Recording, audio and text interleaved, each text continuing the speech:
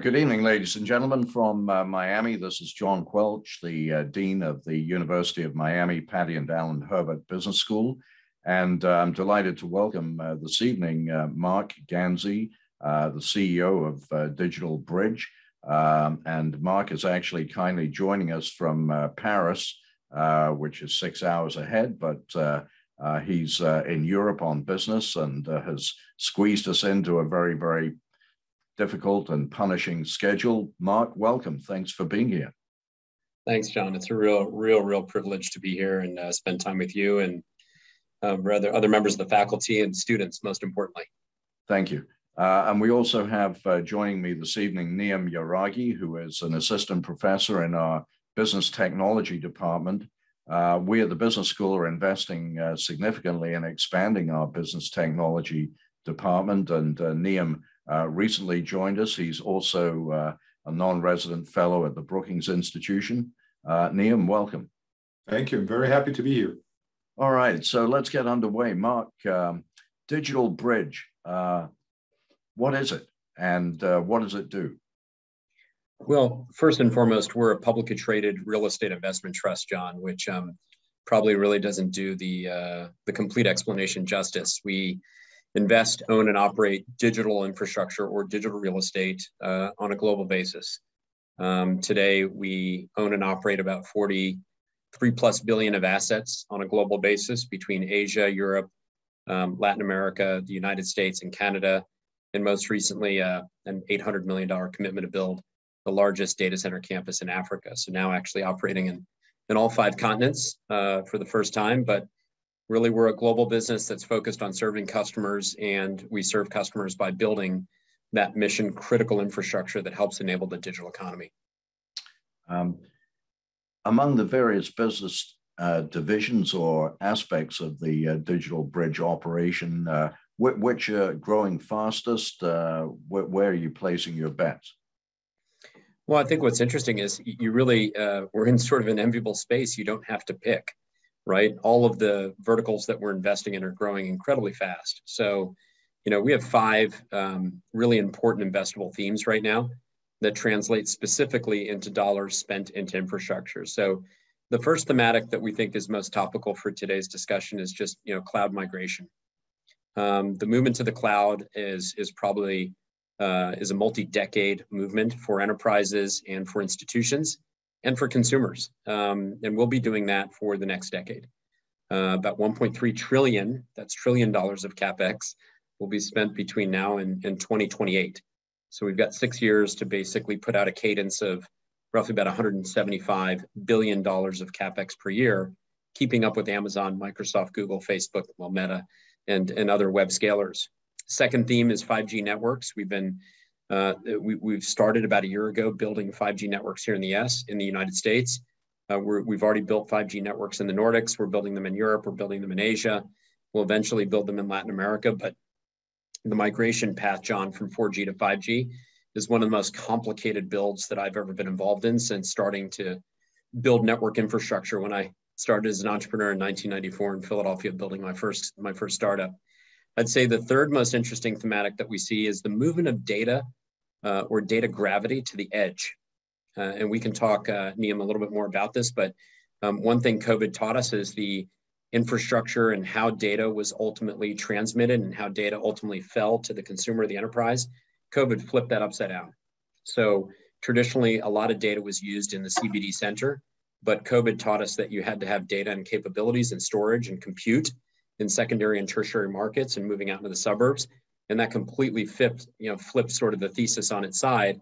And so edge computing was born. So we're, we're investing a lot in edge computing. The fourth thematic I really love talking about is um, IoT, uh, Internet of Things. And this is really the industrialization of wireless networks with the overlay of applications. And so the ability to take wireless networks and to transform the enterprise, you know, create a faster experience. This is digital transformation at its core. And I know, Niam, you want to talk about this too, but We've got numerous enterprise case studies, whether it's Ford Motors, whether it's the Port of Long Beach, whether it's all the New York City airports. We're using digital technology to change workflows, to change processes, to change yield management. I mean, this is the core of what you teach at the university today, and it's happening. It's all happening right now. It's super exciting. The fifth uh, thing that I'd say is is um, software defined networks. This will be the biggest paradigm shift in how we build networks going forward. Not rely, relying on sort of a one to one linear uh, relationship with infrastructure and with the network, but really virtualization of the network and the enterprise and being able to dial up resources on a global basis. We're spending a lot of time on this. Um, uh, probably our hottest product right now in fiber um, is software defined WAN, wide area networks. And this is what all um, CIOs and CTOs are doing at major enterprises today is they're, they're creating a virtual layer uh, to their wide area network, which is think about what the wide area network is today, John. It's the planet, right? It's you can't think in a single dimension. So these are incredibly exciting thematics, and so they're all growing, right? And so they're all growing at like 25 to 35 percent CAGR. So I walk in every day and I tell our I tell our team, I said, look, uh, we're pretty lucky, right? We walk into this apple orchard every morning. Some of you are picking up apples and selling them. Some of you are making apple juice. Some are making apple pie, but we're in one of the most fertile apple, apple orchards in the world today. And so there's a lot of investable opportunity. And so we're raising capital. We're yeah. backing great management teams. We're building great companies through buy and build strategies. And we're working with some of the most exciting customers and logos in the world. It's really a, this isn't work. I mean, I, I feel really lucky. I get to come in every day and, and every day we get to write a new narrative. So it's pretty exciting.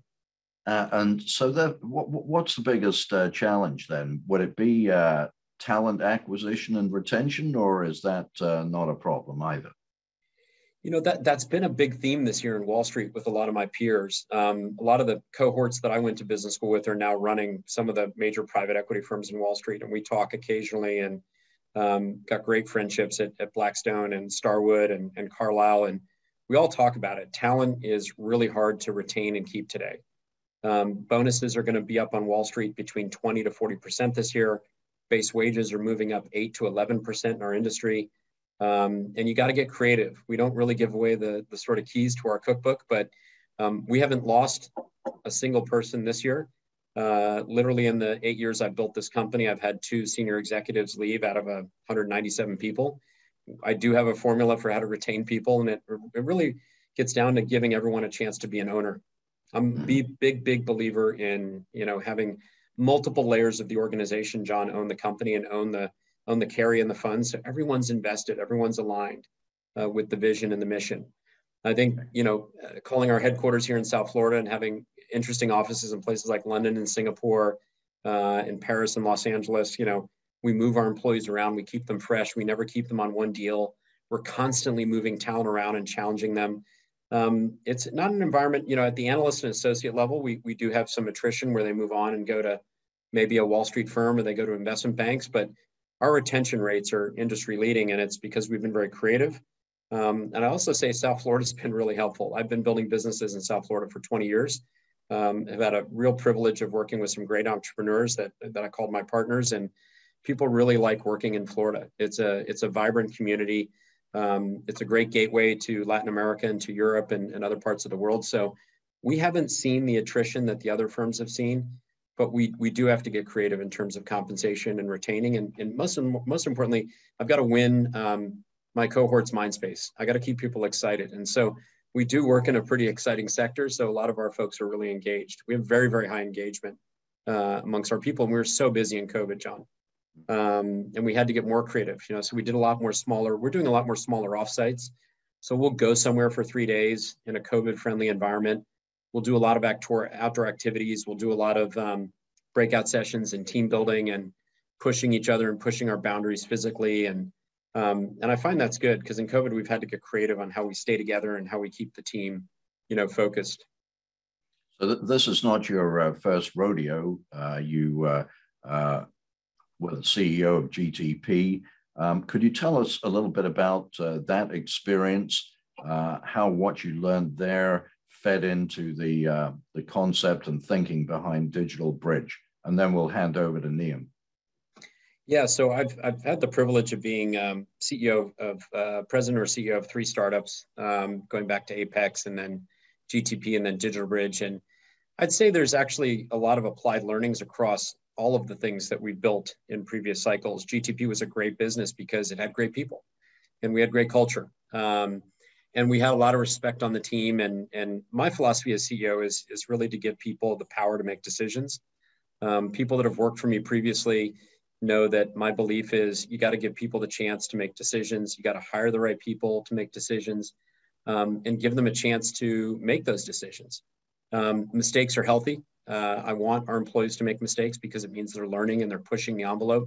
I don't want you to make the same mistake twice. And the simple adage, you know, make the same mistake three times, and you're probably you're probably going to be cleaning out your desk.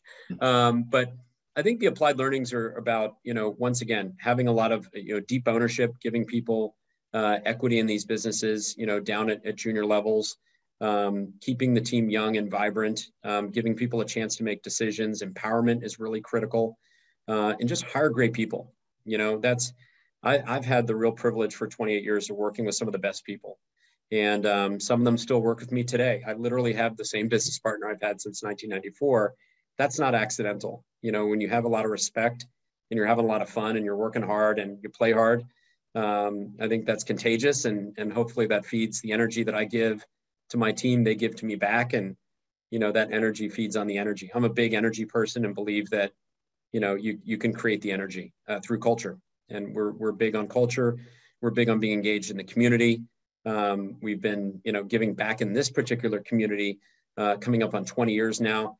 Uh, Alex, my partner Alex, and I figured out through our charitable network, we've We've given to, you know, probably somewhere in the order of magnitude about $48 million to local charities, but most importantly, giving almost 300,000 hours of our time uh, where it's not just a vacant check. You've got to show up, you've got to be in the community, you've got to be engaged. And, and we're now applying that in DigitalBridge in new different ways around DEI and ESG. And there's some interesting things that we're doing to increase community engagement, but also create a career path and create um, access and create equality. That's really been a, a, big mantra in our shop for the last two years is how do we get young people engaged and thinking about digital infrastructure? How do we create an apprenticeship path? How do we create opportunities for everyone for internships? And then ultimately, how do we take those great interns from diverse backgrounds and bring them into our shop? And so uh, that's been a, a, lot of success for us. We've actually um, implemented a really cool program um, about three years ago where we work with historic Black colleges and universities, five of them in particular, that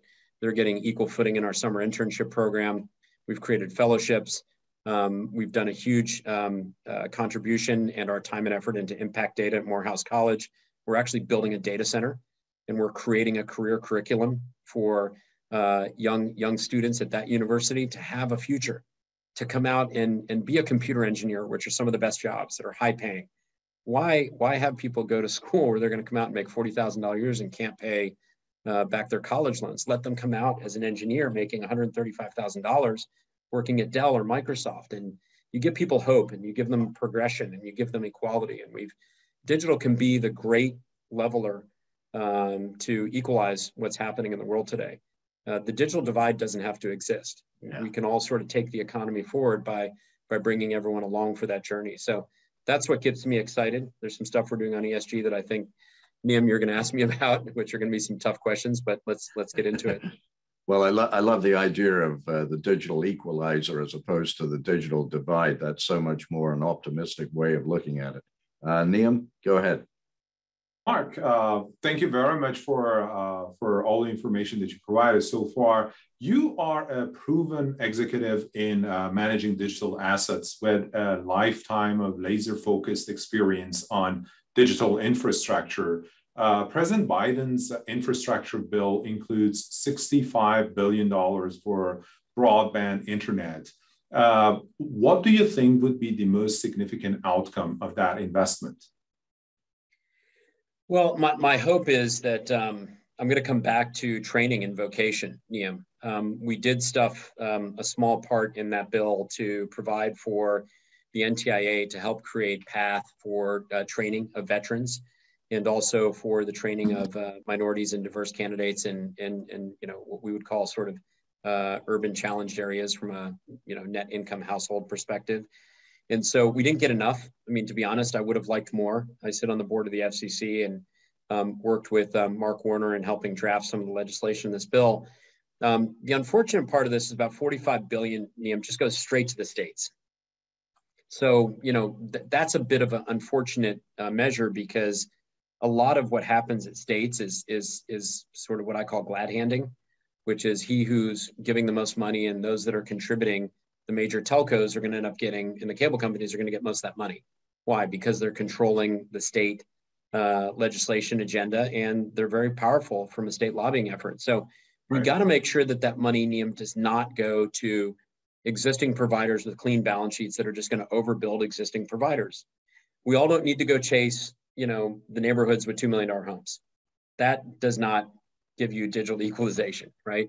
That continues to build the divide. So, you know, we, we've we've got to really focus on E-rate. We've got to make sure that we're getting the money to high schools. We've got to make sure that we're getting broadband connectivity, you know, multi-paired fiber routes into schools, making sure that once it does get there, you've got the right optical light switching gear, you've got the right IT infrastructure, um, and that the school districts are getting access to the cloud.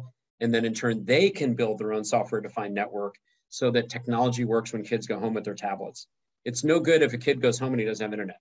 That doesn't work. That's not a good solution. So we've got to give devices that have, you know, 5G air cards and and this is the stuff that I've been preaching along with other members of, uh, of the board of the FCC. Um, Chairman Rosenworcel, she's she's great. Jessica's amazing. She's very focused on this issue. Uh, she shares my passion for um, what I would call inner city, you know, connectivity issues that we're dealing with. And um, we've just got to hold states accountable ultimately for where that 45 billion goes. Now, the good news is there is 20 billion sitting at the federal level. Um, I'd love to retrain our veterans. Um, those of you that you know have known me and and and people that have worked in the tower industry know I've been a champion for veterans, retraining them, getting them re-engaged in the economy. When you have an engaged veteran, they're the best employees. They're loyal, they're mission capable, they show up on time, they have discipline, they have respect, and um, they want to get the mission done, which is great. And right now in this country, we've got a really huge mission to get done. So re-weaponizing our military to go fight the next battles, which are going to be fought in the digital uh, ecosystem, or could eventually be fought in the uh, in the metaverse. By the way, by example, that's not uh, completely science fiction at this point. But we've got to arm our economy for the next wave of of digital terrorism, and we're wildly under-equipped and underprepared. Following up on that, how would you compare the US digital infrastructure with its global counterparts? Well, I think we, we, we have some of the leading infrastructure um, in the world. So if you think about from a fiber perspective, we've got more fiber than any other country by a factor of 3x. So from a broadband communications perspective, we're one of the one of the best built countries in terms of broadband infrastructure. Now we have gaps. Make no mistake about it. We have some gaps in connectivity in rural areas, uh, tertiary markets, and, and we've got to do a better job of, of bringing that connectivity to rural America. I've been an advocate for that as well. And uh, so that that's a big part of what we've got to do. I think from a mobile coverage perspective, you know, in the United States, you know, absent the Nordics and Japan, probably has the best mobile coverage in the you know in the world. Uh, the Nordics is spectacular. Finland, Sweden, and and and Norway have spectacular coverage, um, as does Japan. So we are a little bit of a laggard as it relates to Japan and, and the Nordics, but we're we're generally a leader on a global scale. And then from a data center perspective, in terms of total power compute, um, the United States has 10x more global compute than any other country in the world, more than China by a hmm. massive factor. So wow. our cloud workloads and the total amount of power compute that sits in our data centers that are powering next generation applications and wide area networks is, is far greater than any other nation uh, out there. So we do lead from a hyperscale perspective and from an edge computing perspective. Um, the one area that, that some people do say is like, okay, so that's fine, but you know, where are we from a 5G migration path? And there, you know, we're building that network out. It got a lot of airtime, you know, probably as you saw in Niam over last week about some of the challenges of the FAA and all of that was politics. You know, it was T-Mobile lobbying against AT&T and Verizon. It's a little turf war they have. It's mm-hmm. very exciting, but the reality is, you know, uh, the spectrum that's being used by AT&T and Verizon, which is C-band spectrum, that operates perfectly fine in 40 countries around the world and has been operating now for multiple years. So thousands of US flights have been landing in those countries with no interference to altimeters. This was a red herring. Um, now there is one style of jet, an Embraer jet, which does have some interference with the altimeters, but there hasn't been any you know, tragic failure of those altimeters. So this was a lot of politics and a lot of noise, and I think it'll it'll eventually dissipate. So that slowed down a little bit of our 5G networks, but I, I think our 5G networks are going to be incredible when they're finally you know optimized and lit up and i think consumers will benefit from that as will enterprises. Enterprises will really benefit from 5g infrastructure. Fabulous. And you know to change gears a little bit uh, Can you give us an insider view on the importance of clean and renewable energy for data centers and basically uh, tell us how far the industry is from fully transitioning to clean energy? Well, look, I, I you know I, I don't know if the industry can commit to full decarbonization by a date certainty. This is sort of the challenge. We have a, a sector that's lighting up, you know, um, close to 800 megawatts per year of power. So think about that 800 megawatts of new power is, uh, is coming on. You're looking at a gigawatt per year starting in two more years. So we're, we keep adding more carbon unfriendly power to these data centers. That's the bad news, right? Okay, here's the good news. The good news is, you know, we've made a commitment to get our entire data center portfolio uh, carbon neutral by 2030 it's an aggressive stance, but we're making a lot of progress. Um, we do own four data center businesses around the world. Our first one went fully green this year. We decarbonized a business in Latin America called Scala. And now we're using 100% hydro energy, uh, which is great. Totally renewable. Um, we've created our own renewable substations. We're totally off the core grid now, which is great. And we have backup storage and generators, which we need to get into a carbon neutral framework with fuel cells. So we're getting there uh, this experience that we had down in Brazil has shown us that we can get there. So our other businesses, um, our biggest data center business, Vantage, which has you know over 30 hyperscale campuses around the world. Um, today, they're about 58% carbon neutral. They've got a long ways to go. Uh, DataBank, our edge computing business, about 63% uh, with clean energy. And then our business Atlas Edge in Europe is at about 22% clean energy, but has a clear ramp to get to carbon neutral in about three years. So all of our CEOs down at our portfolio company levels are very focused on this issue. I'm focused on this issue. Um, we had two tower companies go carbon neutral this year. Our first fiber business went went completely carbon neutral this year, Beanfield in Canada. So we're making strides. Um, it's hard work. Um, what I would tell you is it's it's more expensive. It's going to cost us a little more money. But if we can save the planet and we can give our children a future, that's a low cost to pay for a very bright future. The key right. to that is really trying to qualify and quantify, Niam, the degradation in IRRs. And so when we're out talking to pension funds and sovereign wealth funds and insurance companies about giving us billions of dollars to invest, we say, look, we've made this commitment. It's very aggressive. Um, our counterparts are saying 2040 and 2035. I say that's too late. We can't wait 20 years to get this planet back in shape. So we've been very aggressive on this. Um, and we've also told investors, look, returns may suffer 100 to 150 basis points. Are you okay with that? Because we can continue to make the same mistakes we're making with the planet and make you 150 basis points more, or we can do something right. And instead of taking a net IRR of 17%, we're going to take a net IRR of 15.7%. Are you okay with that? And investors around the globe have resoundingly said, we're okay with that. So we've got to be prepared to take a bit of degradation from a capitalism perspective but the environmentalist in me says, you know, this is the way we go many, many steps forward. Fabulous. And you know, being in Miami, the capital of cryptocurrencies, uh, I can't resist the, uh, the urge to ask. Is uh, Miami the, the capital of cryptocurrency? Uh, at least Iceland, Iceland, Iceland might have an argument with you. Iceland might have a really good argument with you. We'll get to that in a second, but let's let's keep going. So, uh, uh, are you investing in any crypto miners? And uh, to what extent do you envision that crypto industry would be a significant user of your infrastructure? Well, it, it, it is today. Uh, crypto crypto applications and crypto miners use our infrastructure today. Uh, they use our fiber. They use our data centers. Um, they have a voracious appetite for two things: mm-hmm. Uh, connectivity and power, but mostly power. Um, we just recently entered into a contract to sell our two uh, crypto mines in Iceland. Uh, Iceland is really the, from a physical perspective, uh, is sort of the crypto capital of the planet. Uh, powers all hydro, it's really cheap. Um, there's a lot of land, land is cheap. Uh, there's an educated workforce. And uh, with unlimited power, people are moving a lot of those, you know, non-CBD central workloads to places like Norway and Iceland um, and uh, you know, so that that's kind of been the the, the migration path of, of crypto right now. We'll continue to build it. It's not ESG friendly.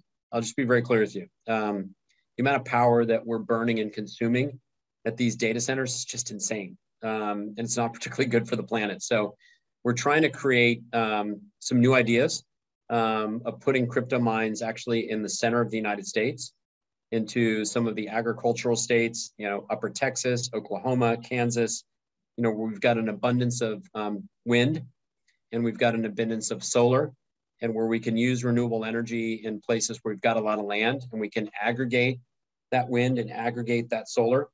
Um, so we're, we're looking at two different locations right now. One's going to be adjacent to a nuclear power plant. The other is going to be adjacent to the largest wind farm in the United States. And um, we're looking to invest with two utility companies in a JV where we build, you know, what we call carbon neutral day one crypto mines. That's uh, that's great. And you know, to get back to uh, your earlier comments about decentralization, we're now observing a, a decentralization of internet. The digital visionaries are promising a mass exodus uh, from Web 2.0 to Web 3.0. Uh, how do you think that the digital infrastructure would evolve as a result of this shift? So it's all about what we were talking about earlier for that, which is um, is is SDN. I mean, the virtualization of networks and, and moving from Web.2 to Web.3.0 is, is all about creating that software defined ecosystem where you can dial up resources globally without having to be obstructed by a server and being obstructed by fiber. So when we talk about the software defined layer of the network, it's ultimately a putting resources that we typically put in a local area network, NIAM, and moving those into public cloud or private cloud. And once you get into public cloud and private cloud, you can proliferate that network globally on a millisecond, which is a complete change of how we've historically built the web, how we've designed the web, security around the web. And so it, it's a complete rethink in terms of how we're designing uh, network architecture, network infrastructure, network security. So this movement to the cloud that I talked about, it, it all comes back to that. That's, that's the number one investable thematic that we're working on today is not only just the physical infrastructure of migrating data to the cloud, migrating enterprises to the cloud, public safety to the cloud, mobile networks to the cloud, um, but also reimagining what you know the networks of the future look like. And that's not going to happen, you know, by building a new fiber optic line. It's going to happen by virtualizing that and building the right software that gives you the capabilities to have global reach on demand. Fabulous. Um, let, let, let me, if I may, just interject uh, for a moment, uh, Niam. I just want to follow up and ask uh, Marc a little bit about cybersecurity matters. Um, do you address those? How do you address them? Well, look, we, we, we don't own the servers. Um, so we've always made it clear that we're not a technology company. We enable technology, we host technology, we transport technology, but at the end of the day, you know, where DigitalBridge stops is that physical infrastructure. So we provide the space, power, and cooling uh, for companies to host their applications and to host their servers. Um, but rarely do we get involved in the technology migration path. Now that's changing. I would tell you in a software defined environment, we've been rethinking our thesis, John, about where we play in the stack. Do we go further up the stack in terms of being a fully integrated provider of infrastructure. And to do that, you're going to have to own your own software defined capabilities. So we're spending a lot of time on that. Cybersecurity is hard. Um, we've we've never seen um, you know more corporate raiders and corporate attacks than we've seen in 2022. Um, data thieves, data hostaging, as we call it, uh, is massively on the rise. Um, enterprises are fully consumed and rightfully so in protecting their data. But I think you got to start out with the assumption that no data is safe, right? So whatever you're putting on your, you know, your, uh, you know, your iDrive or whether you're putting on on, you know, U of M's public cloud or private cloud, um, protect your data. If it's important to you, localize your data. Um, but data is not entirely safe and secure, and people just have to understand the world we live in today. Um, that that's part of the risk and that's part of the game. Now, can we get better at it? Of course, we can get better at it. Can we harden our facilities better? Yes, of course. But cyber terrorism, once again, happens at a software defined level you know, cyber terrorists don't like walk up to a data center and cut the fiber. They could, by the way. It would not be that hard. I mean, it is hard. You got to know where the fiber is. But, you know, ultimately the data center itself is pretty hardened. Um, three layers of security, sometimes four layers of security to walk from the curb to the actual data hall where a server is. And most of our data halls now are retinal scans. So people got to walk up, they got to go like this, They got to put two fingers down, so it's dual authentication. Um, and it's got to be a person's hand. It's got to be their eyes. So um, that's kind of hard to replicate. Mm-hmm. Um, so physically getting to the server is very difficult. Getting to people's data in an SDN environment is actually quite easy. So we can provide all the physical security in the world, but it can't stop a cyber attack. Very helpful. Um, so I want to encourage our uh, attendees to please send in uh, questions on the Q&A function.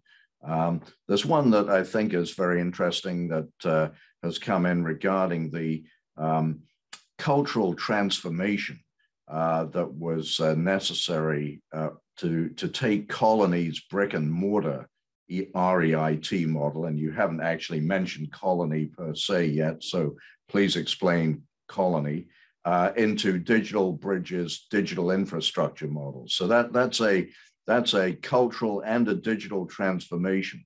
How, how did that come about? How easy was it? Uh, what advice would you give to others who have to go through this process? So digital transformation is not easy. because um, transforming the assets themselves was ended up John being the easy part. I think um, the astute uh, writer of that question uh, lasered in on one thing, which is culture.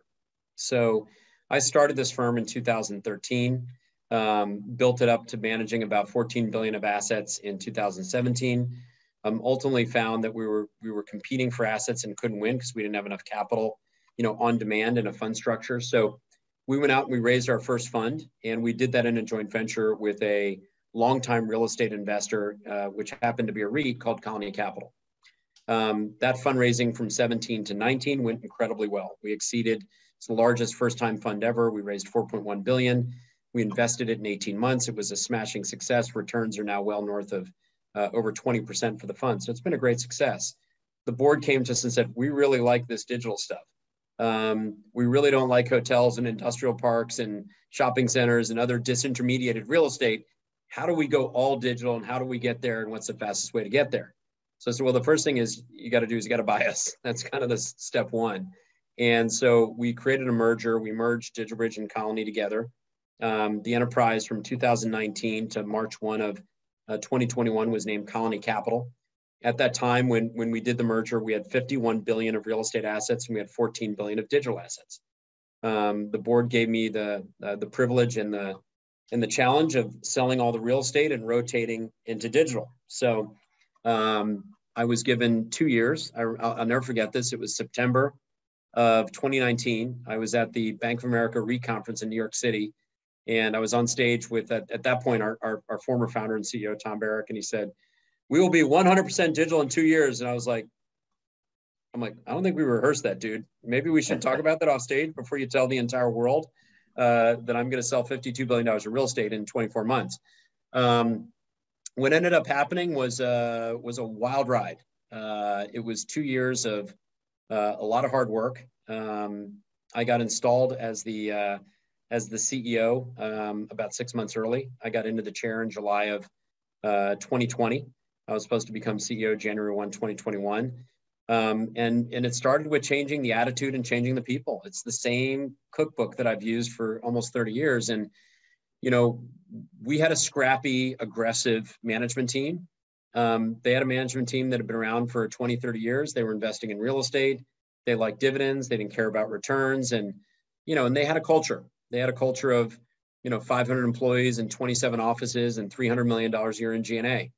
Well, my culture today is we're down to 186 employees. We've got seven offices, and I've taken that G&A burn to 113 million. Sold the corporate plane, closed a lot of fancy offices, and um, you know we're we come to work every day with our hard hats, and we go to work. And so, unfortunately, we had to we had to say goodbye to a lot of people that weren't built for the digital economy. Um, we sold a lot of real estate, and thankfully, that real estate, the people went with that real estate. So whether we we sold hotels, industrial properties, we sold our, uh, our, our New York City office buildings to Scott Rechler, who's a friend of mine. Those people went with it. So as we sold assets, the people moved with the assets, which was good. And some people we had to we had to part ways with, which is uncomfortable. But um, part of great leadership is discomfort. You've got to be prepared to be uncomfortable. Um, I just finished rotating 76 billion of assets in 24 months. um, massive cost cutting, taking net leverage from 14 times to six times. I had to make a series of really tough decisions. Uh, COVID hits, we run out of liquidity. I had to boost liquidity, and you just you got to expect the unexpected. But look, if there's one piece of advice I can give to this entire uh, audience, students only. Um, making hard decisions is tough. We all delay making hard decisions because we want to do the right thing. When it's time to make a change, you make the change. Bad management is when you don't make changes quick enough. And in this economy, you move or you're dead. And you got to move quick. So don't capitulate. You know, good leadership is about you know, gathering the data, having a really good plan, having great people around you, and then building consensus around that plan. And once it's done, you go. There's only one person that can make the decision, which is ultimately in our organization, it was me. But the amount of consensus that we built to arrive at the decisions that we made around restoring liquidity, reducing leverage, rotating the cash, selling old assets that didn't make sense for our mission, but ruthless efficiency and just making a list and saying, these are the things we're going to do. Here's the timeline that we're going to do them. We committed to those dates, John. We delivered. And most importantly, you know, I took over a company at a dollar share price and we've restored credibility and we were the best performing management team of the REIT sector last year. We went from probably being the worst rated management team by ISS Investor Services to being the number one rated management team in one year. And how do you do that? You do that by being decisive, by looking people in the eye and telling them what you're going to do, and ultimately um, delivering on those commitments. Um, Wall Street is very unforgiving when you don't deliver on commitments. And so, as a young public company CEO, I've just been about creating clear uh, markers on the road that public investors can say, we're going to go there, we're going to go there, we're going to go there. And then as we go there, we exceeded. And everything we did, we exceeded, including the rotation of the assets. So there's so many applied learnings to what I just went through the last two years. It was incredibly hard. Um, but once again, it just comes back to one thing, just having great people having people sitting in skill positions that knew how to execute what I needed to get executed. I couldn't have done it without the, the, the great partners that work at, you know, that work at DigitalBridge today. And then finally, once we were rotated, we got to go back to DigitalBridge. We changed the name, Colony back to DigitalBridge again. And uh, new branding, new logo, new attitude. Um, and the company's performing really well. Um, and we'll have another great quarter this year. Did you become a serial entrepreneur right out of Wharton? Oh, absolutely. 100%. Um, it's more fun. Uh, everyone has a favorite professor, right, John? I'm sure you have one. Niam, you can tell us your favorite professor story. I'll never forget the day I took management 231, a professor named Miles Bass. It's a quick story, John. He comes into the room. There's you know, 50 people in the room. It's sort of an advanced management class. He's really quiet, sort of soft spoken guy, pretty short, bald, walks up. Huge letters. He puts J in the first blackboard. Yeah, we had blackboards then. Sorry. Yeah. Then in the middle one, he puts O blackboard, and then he puts B at the end. He goes J O B. If you want a JOB, Professor Milton Friedman's down the hall, and you can go take Finance 263 and get a job at Wall Street. That's for the people that want jobs. You want to build a business, stay in this class. Literally, like 10 people got up and left. And they're like, Yeah, I'm going to Jeremy Siegel's class right away. And they went to finance, you know, and I stayed and I stayed and I I um I caught the bug, and um, I think it's look it's fun it's adventurous it's daring. Um, if you want to be your own person and you want to chart your own path, then entrepreneurship's for you. But it's not it's not for everybody. You know, you have some dark moments. You have some what I call the cliff moment in, in every entrepreneur's life where you got to sort of get out on the cliff and make the decision whether you're going to jump or not. And I've had these jump moments throughout my entire career. And merging with Colony was a huge jump moment. It was a busted REIT, and it was a, a business that was uh, sort of on bad fortune. And I just saw the other side of the equation, which was I could fix it. And it was a tough, tough decision. And, and when I made the decision, a lot of my friends called me and, you know, who run other REITs or run other big investment firms, like, what are you doing? You're nuts. And I said, no, you don't get it. This is one of the great opportunities. I'll have the chance to rotate 80 billion of assets, and no one's ever done that in two years, ever in the asset management space or the REIT space. We have a chance to do something great. And um, it's that opportunity to dare and, uh, you know, and to go for greatness is what keeps me excited and sitting here at, you know, Paris at 1140 at night, getting ready for a full day of fundraising tomorrow. and, and, another question here uh, on undersea fiber networks. Um, mm-hmm. does Digital Bridge have plans to challenge the dominance of tech firms' market share of these networks? Well, we, we own some of those suboceanic routes today at Zayo. Uh, Zayo's, I think, the number three or number four largest owner of sub, submarine suboceanic cables. Um, the web scalers are continuing to build their own cables. Um, we are uh, doing some unique joint ventures with some of them. Believe it or not, they actually don't have unlimited capex and everyone thinks like Google and Facebook have unlimited capex, Meta, but they don't, you know. And so there will be a, a finite point to where that capex runs out. Um, they'll have to monetize the assets they built. We'll be ready. We'll have a big balance sheet. Um, we've had these conversations with Amazon and Microsoft that they shouldn't build their own suboceanic fiber infrastructure. They want to do it, so you know that's fine.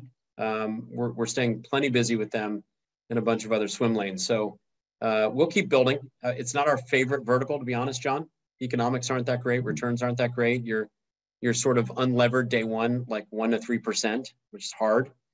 And you know, you can get, you know, probably five and a half to seven times leverage on it and get your returns to six to seven percent. But if you don't lease out the other fiber strands, you know, you don't get to the returns. And it's totally uncertain whether you can get the leasing that ultimately drives that decision. So it's a lot like building an office building, right? If you build an office building and it's a 10 story office building, and you're only going to lease two floors for the next 30 years, it's kind of a bad decision. Uh, someone else is asking about low Earth orbit satellites. Um, LEOs. Um, to connect Leos. I'm uh, reading the question. Areas. That's a good question. It's a great yeah. question. Are you investing in those? So it's interesting. We looked at the there's there's two big providers out there. Everyone, of course, knows Elon Musk's company Starlink. Um, you know, Starlink um, yesterday, just yesterday, put 40 satellites into space. Not four, 40. All right. He's put up 20,000 satellites very quietly in 24 months. And nobody talks about it. Elon Musk is blanketing the planet so that he can talk with your car. It's really interesting. I've become um, one of my mentors, a guy named Charlie Ergen, who runs a company called Dish uh, in Denver. He's a great CEO. I mean, big culture guy, big dare to dream big guy. And he says, you know, his, his favorite business partner is Elon Musk. And so every time Dish puts up a new satellite, guess who he uses? He uses SpaceX. And he said, this guy thinks in dimensions that the rest of the planet just doesn't think it. And he says everything he touches works because he doesn't accept what's been taught to him. He doesn't accept what everyone's saying. So a simple problem, which was rocket propul- propulsion. And for years, NASA said, look, the only way to get a spaceship down is got to put a parachute on it. You got to let it land in the ocean and you can't reuse rockets. Totally bad thinking.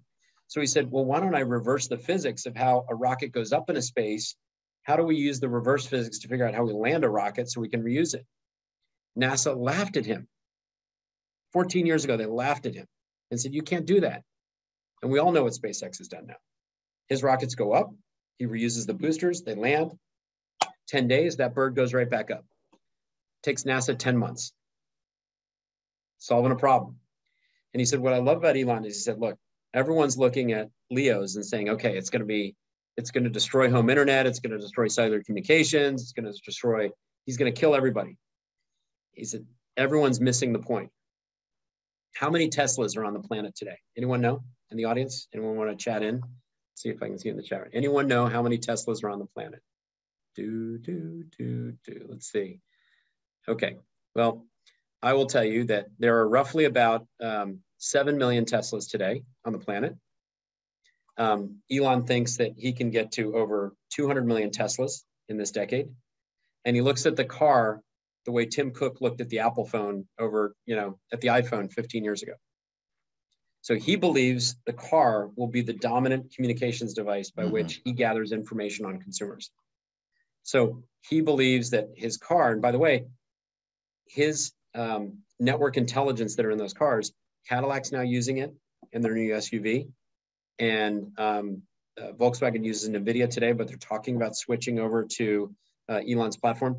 He believes that his intelligence in vehicles will be the dominant um, computer processing capabilities in every car on the planet within 20 years. He wants to own every car. He's made it very clear. And if he has the car, he's got you. Because when you get in your car, you've got all your preferences.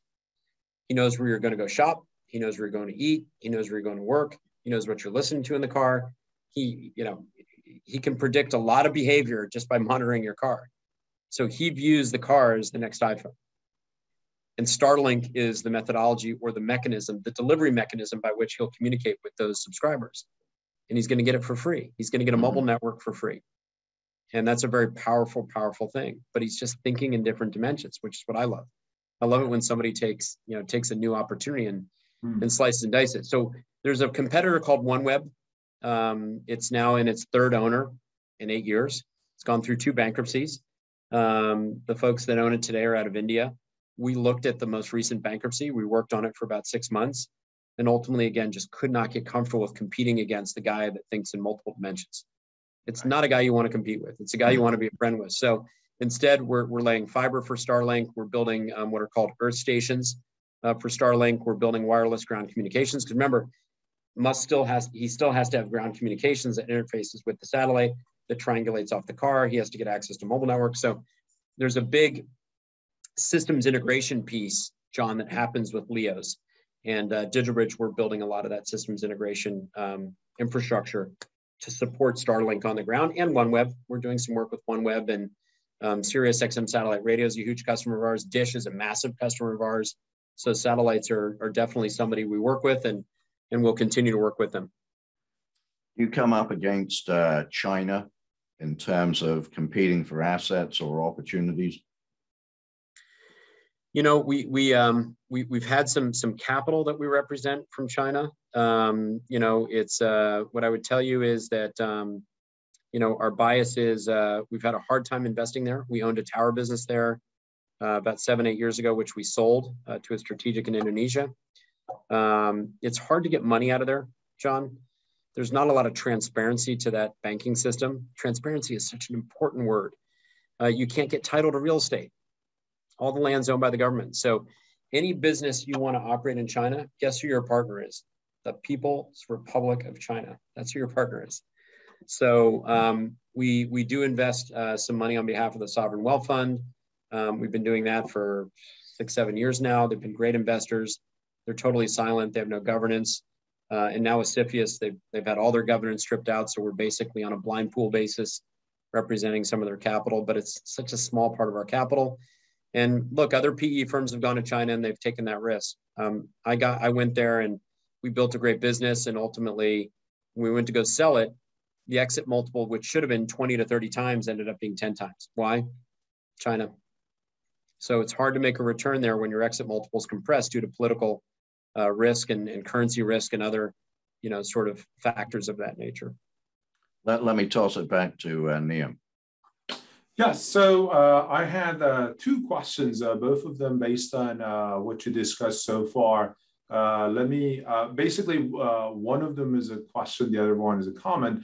The question is, how do you balance analytics, you know, data-driven decision making with your own insight, personal experiences, or basically your gut feeling when it comes to making a decision? How, how do you balance those two sources of uh, information?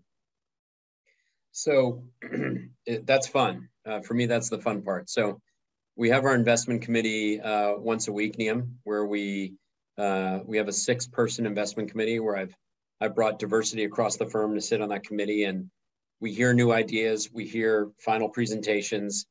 Um, and ultimately, you, you have that final meeting, Niam, which is go or no go, final IC. And it's a six member committee. I'm always the last to talk. I let the room go first. I work around the room. I gather consensus. You know, certainly we're looking at the modeling. We're looking at the diligence. We're looking at the quality of the assets. We're looking at where the asset is located. And then by that point in time, we've already spent a lot of time with the management team. So we know who they are. We know their personality traits. We know their credit score. We know what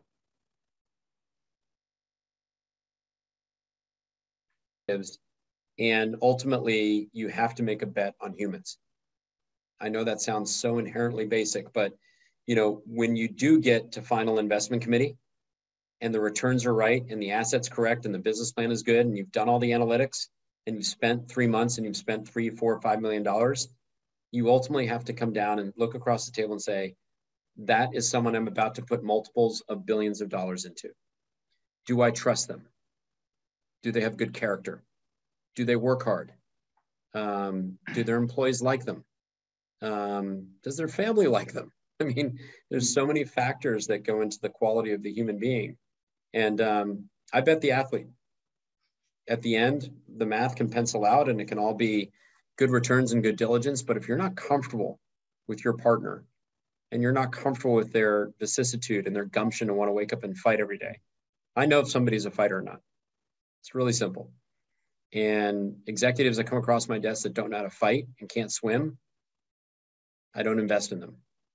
How now that, that, that's the how that's do you know if somebody the, is a fighter?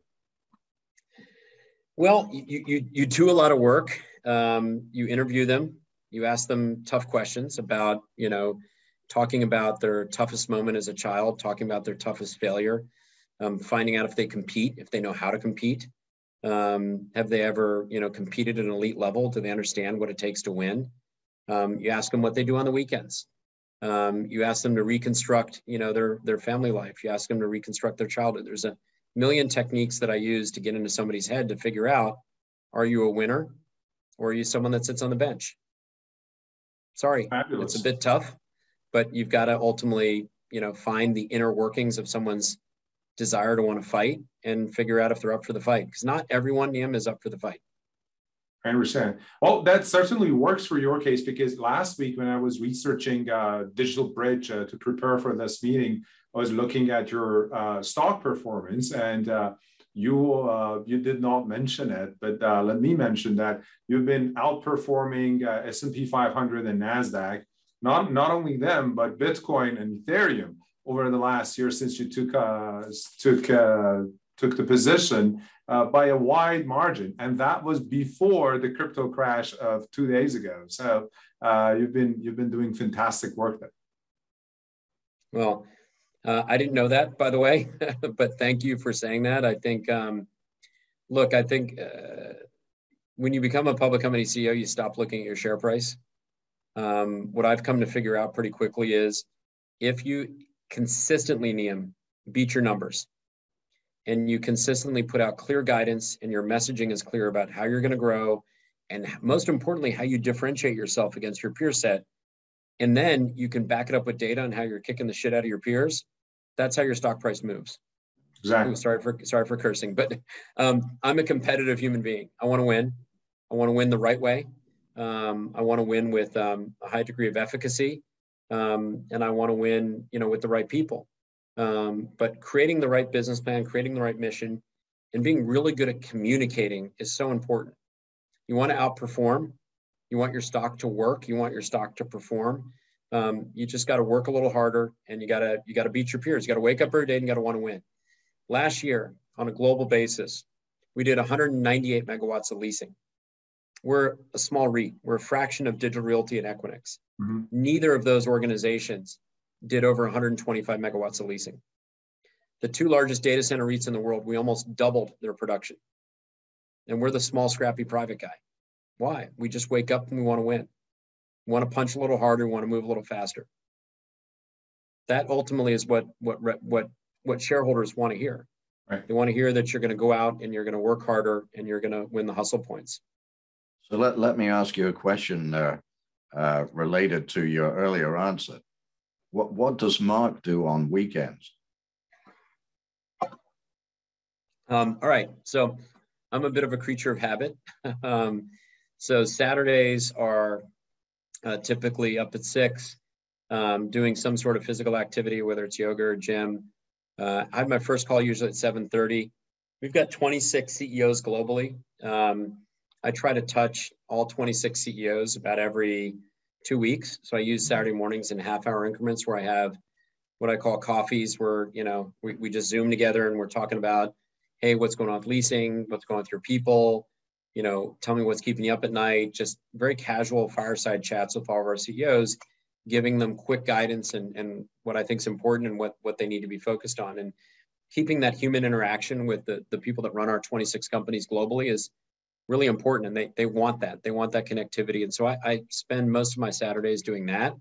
Um, then typically I, I do want to get outside. I like Florida. Um, I like to golf. Um, I like to ride horses and play polo Uh, physical outdoor activity is is really important. Um, some people that know me know that I, I, like to cook. I really enjoy staying home and cooking. I guess the pandemic taught me to to to really reignite with my Italian heritage and cooking, so I enjoy that quite a bit. And um, Sundays, it's a bit of a repeat, but more internal meetings with the team, um, just getting people ready for, you know, uh, doing postmortems on investment committee, figuring out where deals are, checking in with our top deal guys, um, and then checking in on Sundays. I check in with some of our Middle East businesses and, and investors. So it's kind of half days on Saturdays and Sundays, but it's a it's a seven day a week job. Um, okay. You want to win, you want to run a big company, you want to be a public CEO you got to work seven days a week. There's no off switch, but you got to find balance too. Um, one thing COVID really taught me was my health. And so I've been committing, you know, blocking time. And, and by the way, you've got to block time. You got to like go into Outlook and say, this is locked off. You cannot book anything here. And you got to make time for yourself.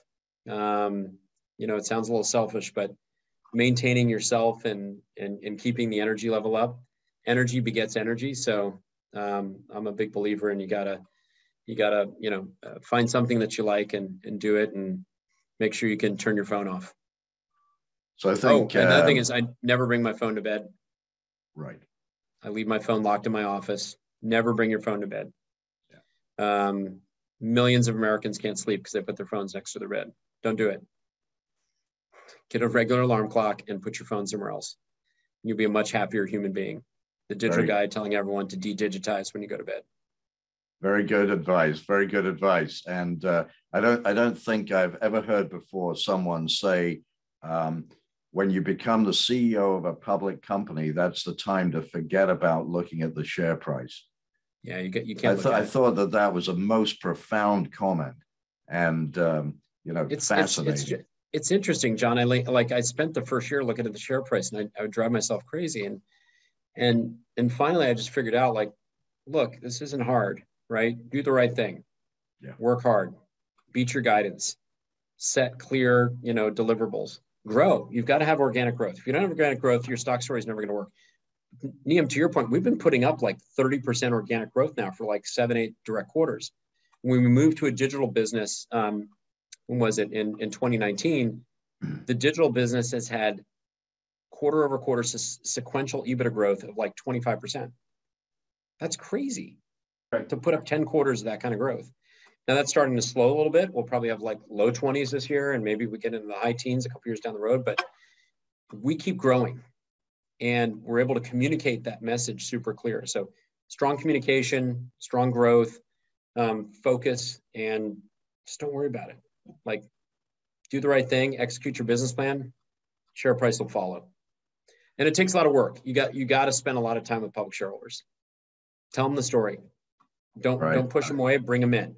We had an activist like the day I became the CEO. I had an activist shareholder immediately in my shareholder base. This guy Blackwell's. He's attacking Peloton today. Um, and he was texting me earlier. He's like, ah, "I'm taking down Peloton today." All right, that's fine, dude. Whatever floats your boat. But like, I inherited that day one, and I had to deal with an activist. And someone said, "How do you deal with an activist?" Because you you figured out you figured that out. And I said, "It's really simple." Um, I ignored him. I told the street very clearly what I was going to do to transform the company. I was the CEO. He was attacking me on the first day. And I just said, not having it. Mm-hmm. I said, I'm going to go out and I'm going to out execute this guy and everything that he puts in print's a lie. And we're going to outperform him. And eventually he'll come to me. And, you know, nine months later, he came to me and on his knees and we, we struck a good deal with him. And I could have hurt him in that transaction, but I didn't. Instead, we, we created a partnership. I went out and bought some shares.